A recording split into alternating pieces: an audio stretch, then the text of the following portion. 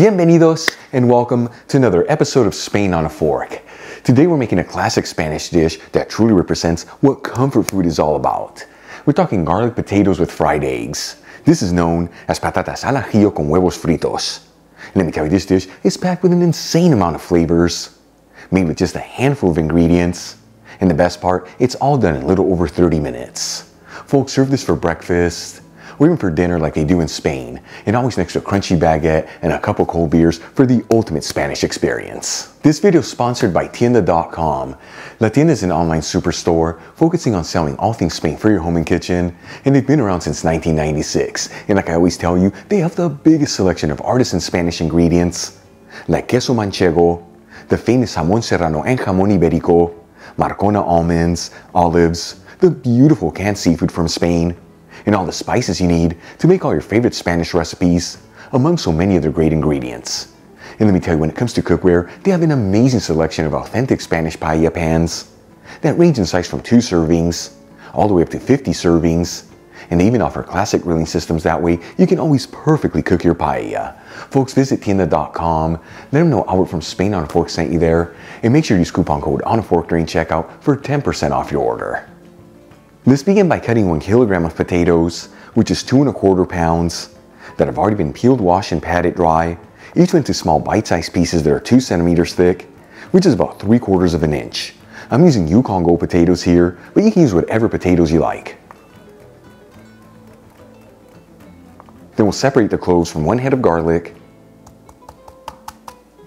and cut a slit on each clove, making sure to leave the skins intact. And let me tell you, you want to leave the skins on the garlic. It's still going to give the potatoes that beautiful garlic flavor, but it's going to ensure that they don't brown, which will give them a bitter flavor. For the next step, let's start cooking our dish. I'm going to heat a large fry pan with a medium heat and add in half a cup of extra virgin olive oil, which is 120 milliliters. Important to use a great olive oil here, as this what truly flavors all the ingredients. Link where you can get the Spanish one I'm using in the description box below. After a couple minutes, we'll add in the chopped potatoes and the cloves of garlic. And we'll mix the ingredients around. That way they're all coated in the olive oil. And you don't have to mix this around continuously, but do get under every three to four minutes. That way everything evenly cooks. In the meantime, let's get the rest of the elements ready to put this dish together. Let's begin by making a very simple garlic and parsley sauce that takes this to the next level. I'm going to add in two cloves of garlic that I roughly chopped into a mortar, along with two tablespoons of chopped fresh parsley, which is 8 grams, and a pinch of sea salt. And using a pestle, we'll pound down on the ingredients until we form a paste-like texture. If you don't have a mortar and pestle, you can also use a food processor, NutriBullet, or even a handheld blender. Once we end up with a paste-like texture, we'll add in 2 tablespoons of extra virgin olive oil, which is 30 milliliters, and give it a mix until it's well mixed together. And we'll also grab a couple eggs and crack each one into individual bowls. As you know, before I add eggs into a fry pan, I always like to take this step as it ensures that no eggshells go in there and that the yolks are not broken. Okay, let's move back to the potatoes. They've been cooking between 20 to 25 minutes, and as you can see, they are beautifully golden fried. You know, you can always pierce them with a toothpick just to ensure that they're fully cooked through. For the next step, I'm gonna remove the potatoes and the cloves of garlic and transfer them to a bowl with paper towels.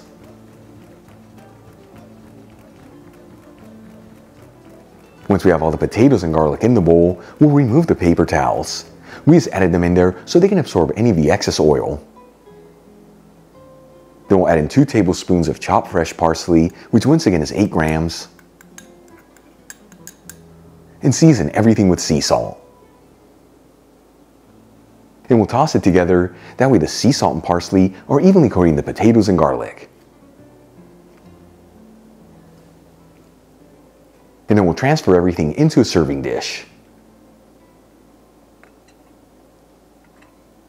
For the final step, let's start cooking our eggs.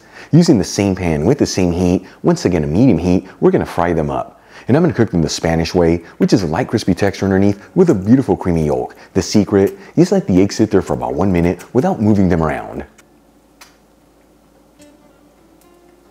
Then splash some of the hot oil over the eggs, and you just wanna do this for a few seconds, otherwise you can easily overcook the yolk. And then remove the eggs from the pan. Then we'll add the eggs over the garlic potatoes and season them with a kiss of sea salt and freshly cracked black pepper.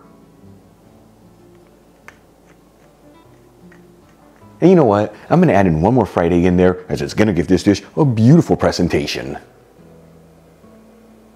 And for the final touch, we'll top it off with our garlic and parsley sauce.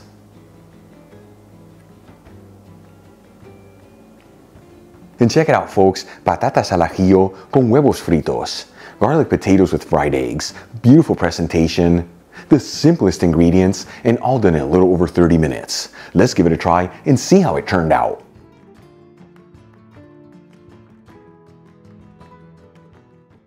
Once again folks, patatas al ajillo, this is comfort food at its best. Here we go.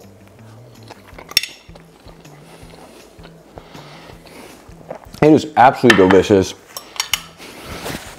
There is so much garlic flavor in there that is out of control delicious and all the ingredients beautifully cooked.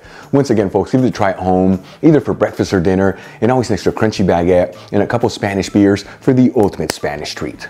Really quick before I go, a shout out to a couple of my patrons, Alan M. Hirschman, Nancy T, Jean, and Maybeth Robles. And guys, thank you so much for being patrons of Spain on a Fork. You know how much I appreciate you. If you enjoyed today's video, hit that like button as it really helps out the channel leave me a comment below. And as always, don't forget to share this video with your family and friends. That way our Spain on a Fork community can continue to grow. Till the next time, hasta luego.